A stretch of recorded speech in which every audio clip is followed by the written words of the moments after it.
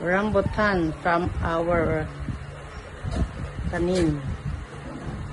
Pag may tinanim, may aanihin.